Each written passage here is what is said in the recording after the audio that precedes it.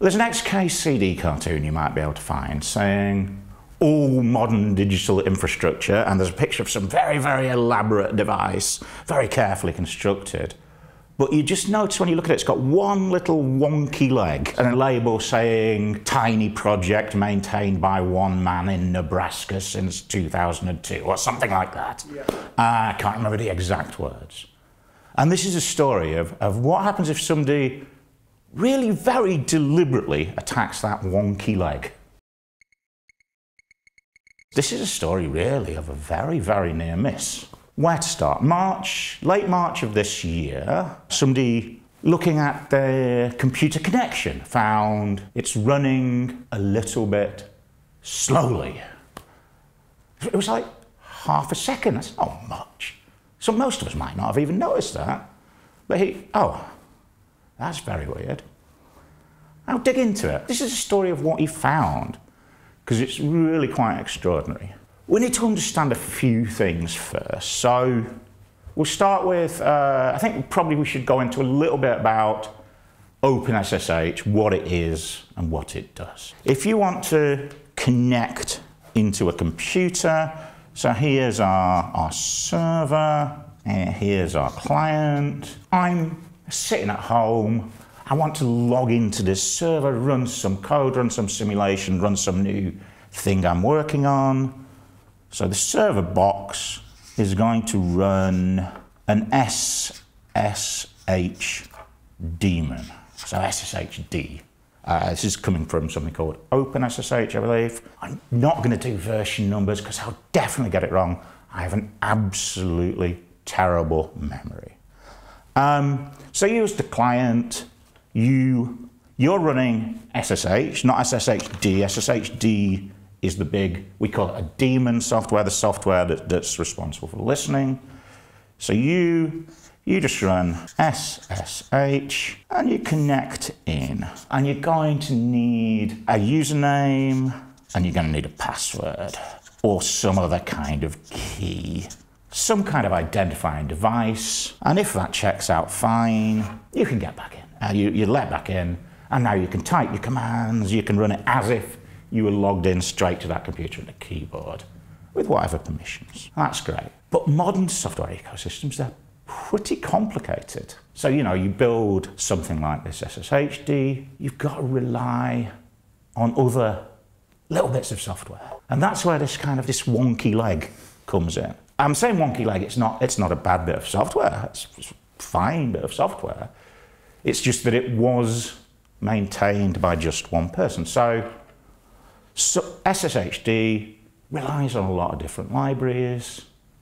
And actually, technically, it's not directly SSHD. SSHD uses SysD, which uses a compression library.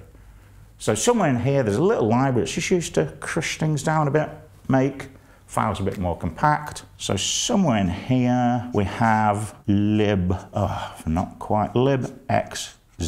And that was the little project being maintained for years and years by a guy, I think his name's, I'll probably pronounce it wrong, Lasse Collin, I believe. I'm not quite sure how to pronounce that. He'd been maintaining it. It's just doing compression, but these things require maintenance, they have bugs, and you know, it's got one main person running it. And it's used in a fair bit of software all across the Linux ecosystem. All right, so what happens? Two and a half years ago, I think, uh, this user Jia Tan shows up. And they, they start to help. Oh, yeah, um, yeah, they just, here's a suggestion. Here's something helpful.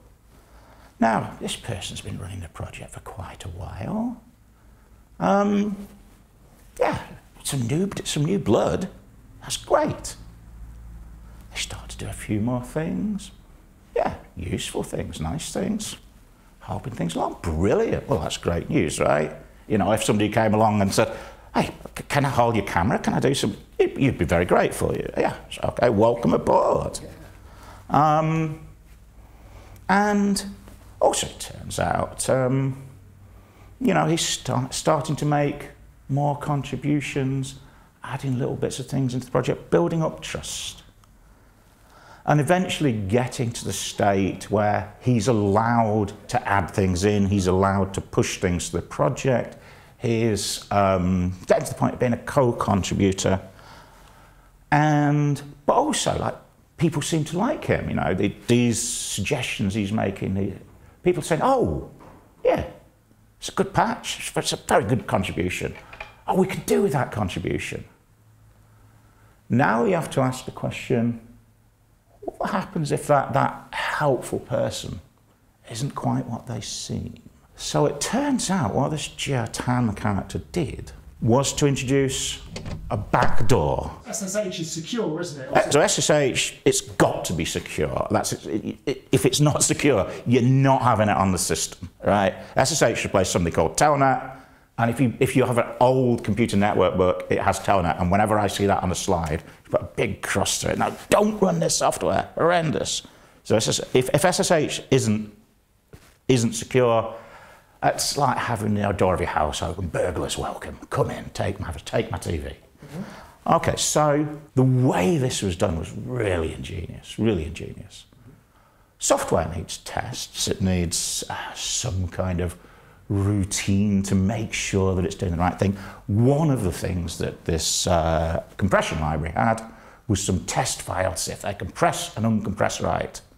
One of the tests was, well, what if you just feed it junk? Well, it, it should spit an error. Now, one of the tricks here, there were so many tricks because this was really ingenious. One of the tricks here was to take this libxz and hide in Uh, a test file, but this test file, when you expand it out in just the right way, this is suddenly your malevolent code. I'm not going to be able to spell malevolent. This is your payload. Now, there's so much clever going on here because you can't just have submit some code saying, expand my test code into real code. Somebody's going to spot that straight away. Not going to pass any kind of code review. So there's all kinds of shenanigans going on here.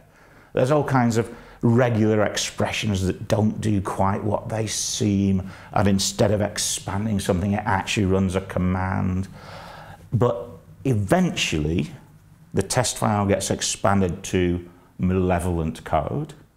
The malevolent code gets swapped in at runtime to be part of this libx Z. And then when I connect from SSH, and I include my special secret key.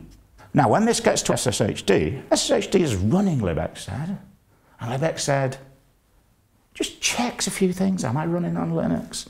Is it SSHD we're dealing with today? Okay, can I see the special secret key?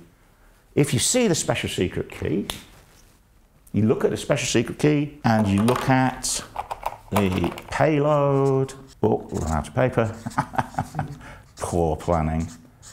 You look at the payload and libxz spots that secret key, extracts the payload, and just runs it on the server. Then your SSHD looks at the password and key and says, hmm, it's not the right user, it's not the right password.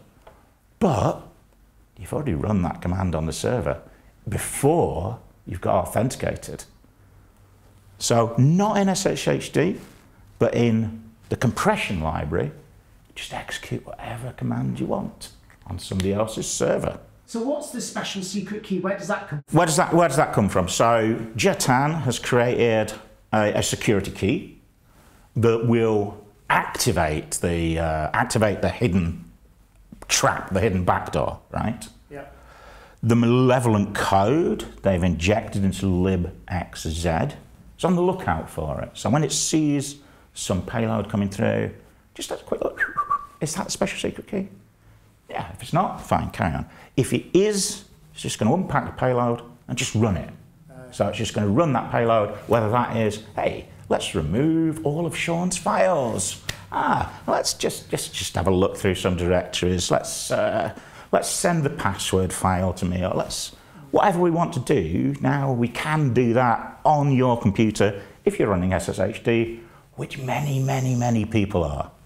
So yeah, they can run whatever command they like on whatever Linux computer they like if it has SSHD going. Let's talk a bit about how far it got, how far this, this got to really being deployed. Because uh, Debian Linux, for whatever reason, names its releases after Toy Story. And they will have a stable release, which is, if you're in production, probably you're going to run stable. Bit out of date, not the latest and greatest. There's testing. It's probably going to be all right. It's okay for most things, but you don't want to run it on your most safe service. And then they have unstable, and unstable is named SID. And if you remember Toy Story, Sid is the horrible kind of spiky little kid who breaks up your toys. Because if you run unstable, that's probably uh, something's going to break. So it only got as far as the earliest bit of the Debian release. I'm not quite sure where it got on the other Linux releases, but the uh, somebody was running this on SID, and he discovered this, this fault, this, this slowdown. Um, now, the reason why there was a slowdown was quite interesting. It wasn't just initially I thought half a second slowdown. Idiot coder? But it's quite, it's quite a thing. If you have a server that's been on the internet for a long time, people come and rattle your doors. They try your security, right? Can we get in here? Eh, eh, eh. Oh, oh, oh, try and log in. So if this SSHD slows down even a little bit, but the server's being hammered pretty hard by all these false attacks.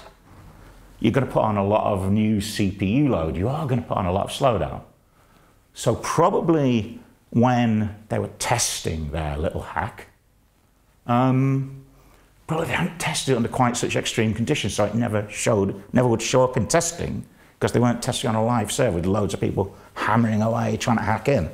So they thought it might be seamless, but actually, the yeah, they thought it might be seamless. Like they thought, oh, maybe it's like 0.005 of a second slowdown, which it would be on kind of a normal server that's not getting loads of login attempts. But I believe it was the fact that there was lots of login attempts to cause the CPU use to spike and the slowdown to occur.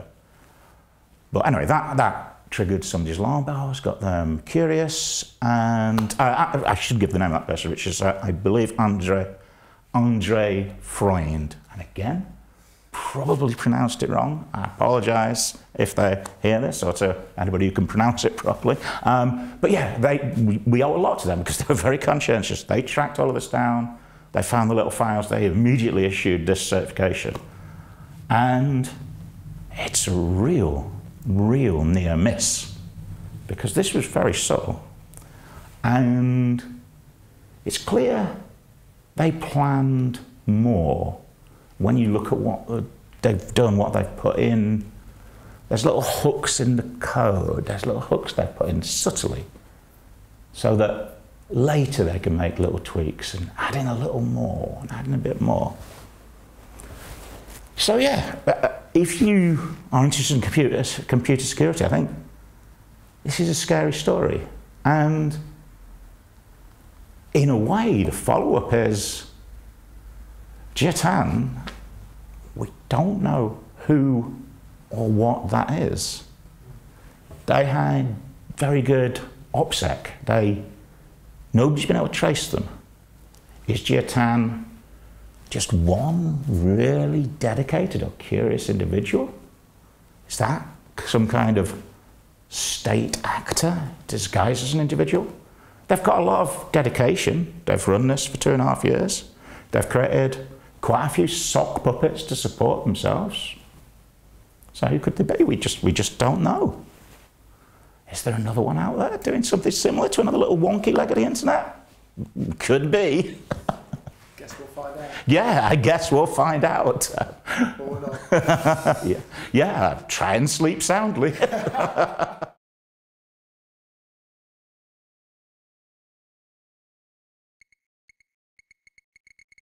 Something we need to know about here is what's called time to live. Every Internet Protocol packet, when it's created, is set up with this flag, time to live. It's as if they've all got a doomsday clock on them. Um, we've got a little counter.